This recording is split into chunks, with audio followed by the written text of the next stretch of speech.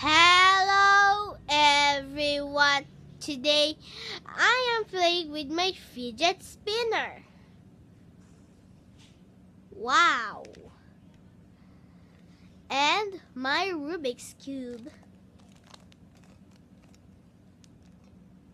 Okay, and now I also have a small Rubik's Cube. That was so much fun.